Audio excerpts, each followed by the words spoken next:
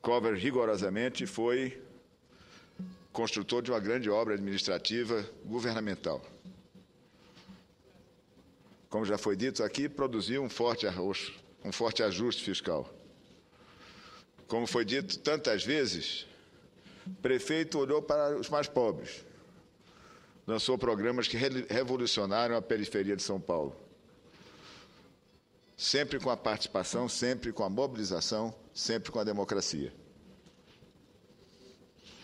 Mas eu fui um brasileiro que o acompanhou, não necessariamente no PSDB. E, e aí um primeiro depoimento. Covas era e foi, para minha geração, um político limpo, um político que honrava a palavra, um político que fazia o discurso e no governo cumpria o discurso, fazia.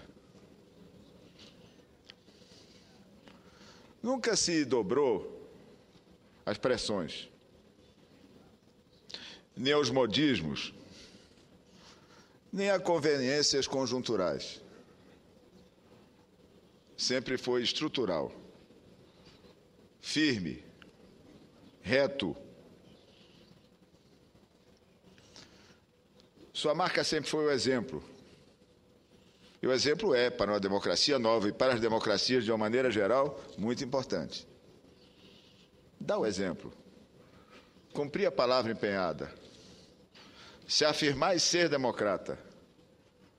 Saber vencer, saber perder, saber reagir, saber enfrentar, não se curvar, não se dobrar, não dobrar a espinha. Nossa história tem uma sucessão de líderes que foram incapazes de manter a sua espinha erguida, o seu pescoço afirmado e sua cabeça com absoluta firmeza, decidida a cumprir os objetivos que traçou e que são objetivos desenvolvidos no ambiente de democracia. É deplorável a história brasileira dos últimos anos. Muita contradição, muita incoerência. Que produz um ambiente parecido com esse que temos hoje.